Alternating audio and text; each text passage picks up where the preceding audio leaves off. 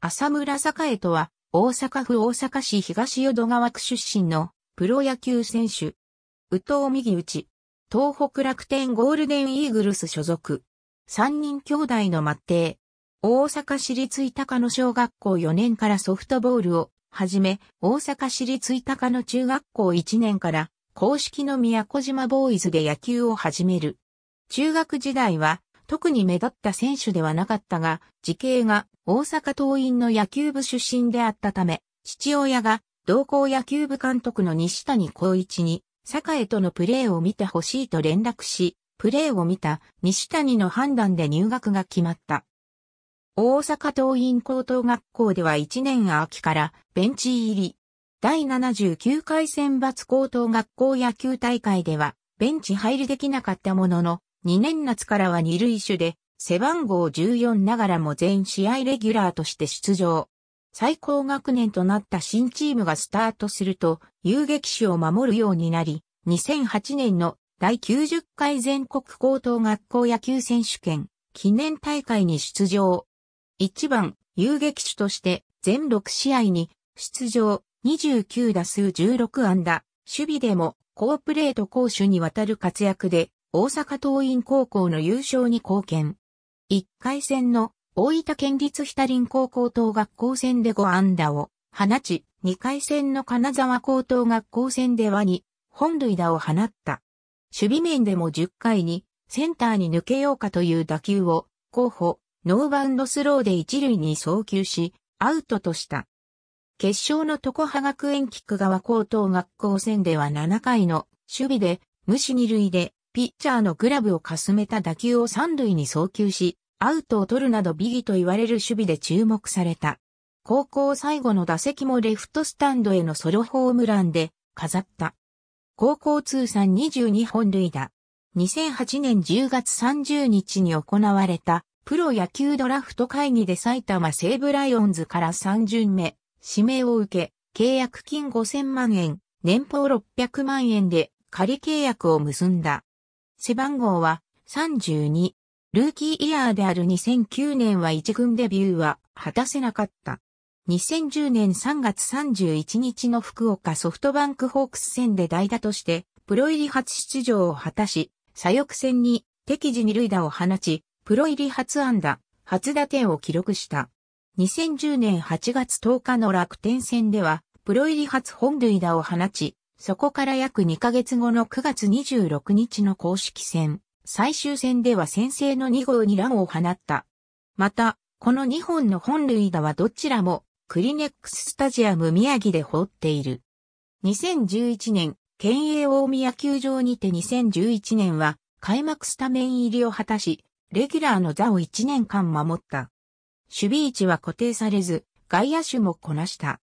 オープン戦では、片岡駅士ので、遅れのため、片岡の復帰まで主に二塁手として試合に出場。片岡が復帰してから交流戦までは主に一塁手、交流戦の指名打者が使えない試合。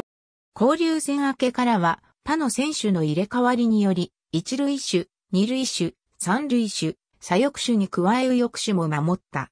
守備の負担があったためか中盤は打撃の調子を落としたが、再び一塁手に固定された10月は打率が460とリーグトップの成績を残し、初の月間 MVP を獲得した。2012年は開幕を一軍で迎えたが、打撃不振に陥り5月21日に2軍落ちした。一軍に昇格した後は打撃が復調し、8月に栗山匠が左手の負傷で離脱した後はシーズン終了まで一番打者として起用された。2013年は開幕からしばらく一塁手で起用された。遊撃手を任せられることもあったが、失策が多くほぼ一塁手専任になるとともに離脱中の中村豪也の代役として4番を任されるようになった。5月29日の対横浜 DNA ベイスターズ戦でプロ入り後初めて4番打者を務めたことによって一軍公式戦のスタメンで全ての打順を経験する。4番起用2試合目となった東京ヤクルトスワローズ。戦では2年振りのサヨナラ本塁打を含む自身初の1試合に本塁打を記録した。7月には月間打率395と6本塁打で自身2度目の月間 MVP を受賞。9月26日の対東北楽天ゴールデンイーグルス戦では日本プロ野球最年少タイで100打点を達成。最終的に110打点を挙げ、平成生まれで初の打点王を獲得した。オフの11月に台湾で開催された2013ベースボールチャレンジ日本 VS チャイニーズ台北の日本代表に選出された。2014年から守備位置を2塁に移す。中村豪也が故障により出遅れ、開幕当初は4番を務めた。5月21日の読売ジャイアンツ戦で村田修一のフライを追いかけ、右翼手の木村文則と交錯。数日後に左足に痛みを覚えるも、ノーステップ打法に切り替え出場を続け、6月3日、時点でチームトップの8本塁打、32打点を記録していたが、6月5日に登録を抹消された。7月15日の北海道、日本ハムファイターズ戦にて復帰を果たすも、前年の約半分の14本塁打、55打点に終わった。シーズンオフの11月4日には左肩のクリーニング手術を受けた。2015年は開幕から3番打者として出場。前半戦、打率3割キープも後半戦に入り、調子を落とし、結果は打率270本塁打は前年以下の13本塁打でシーズン終了。9月10日に第1回 WBSC プレミア12の日本代表候補選手に選出された。2016年のシーズン序盤は31打席、無安打などで打率が1割台と打撃不振に陥ったが、5月から調子を上げた。オールスターゲーム第2戦で記録したホームランが救援通算400号となった。8月はパリーグ1位の38安打を記録し、2013年8月以来3回目の月間 MVP を受賞。最終的に打率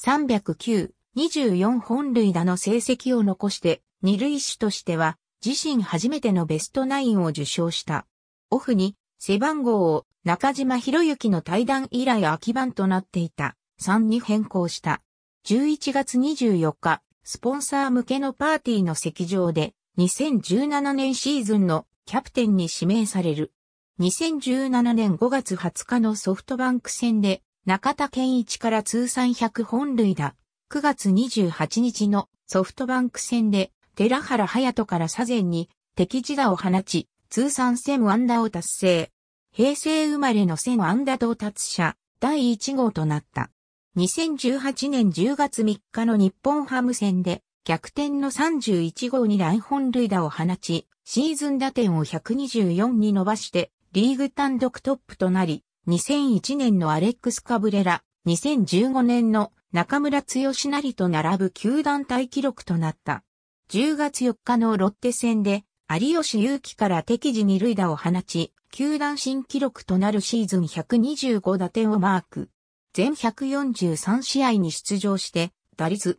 310-32本塁打127打点という成績で安打、本塁打、打点はキャリアハイを記録し、球団に所属する日本人選手で初めて3割30本塁打100打点達成者となった。オフの11月5日、国内フリーエージェント兼講師を球団に通知した。所属先である西部の他にソフトバンク、楽天、オリックスが獲得意思を示した。2018年11月21日に楽天が獲得を発表した。背番号は引き続き3。日本人の着用は、吉岡雄二以来、11年ぶり。2019年4月17日の埼玉西武ライオンズ戦で、通算150本塁打を達成。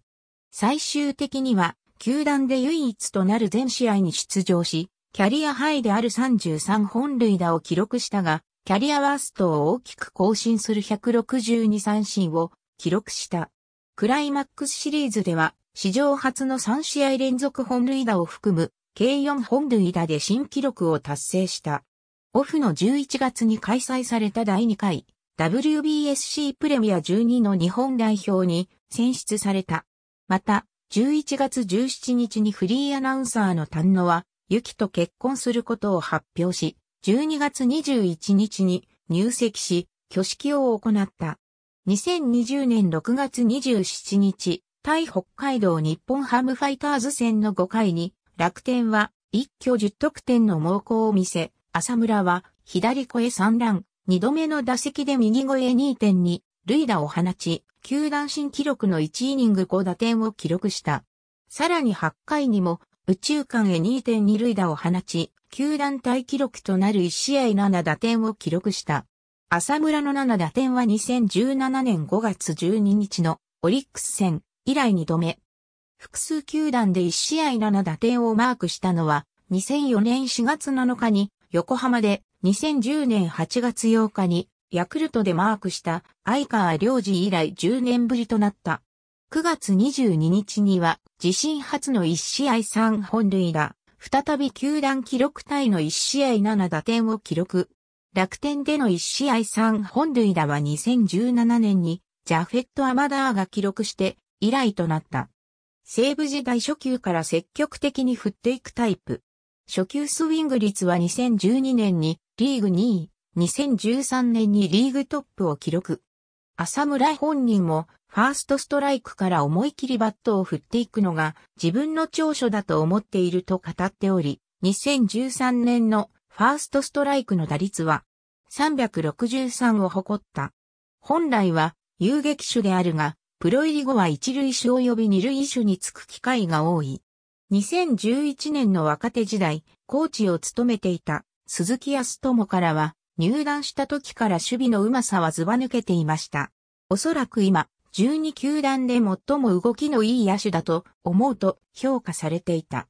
2013年は一塁手として136試合に出場。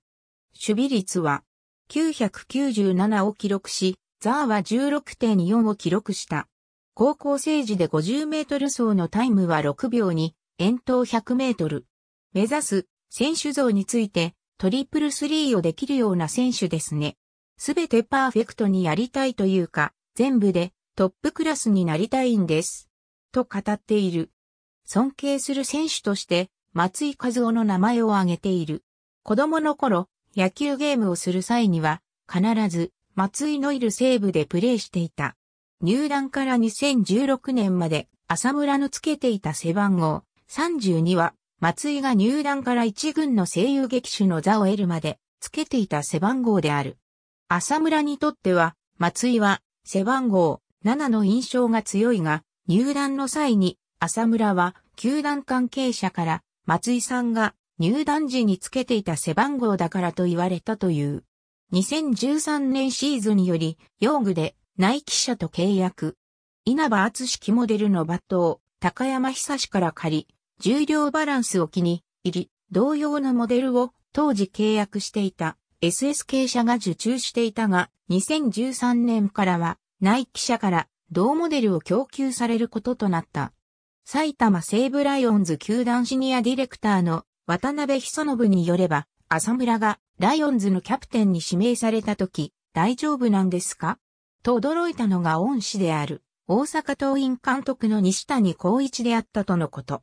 大阪府出身だが、本籍は岡山県である。内野守備外野守備初記録説明の記録その他の記録。ありがとうございます。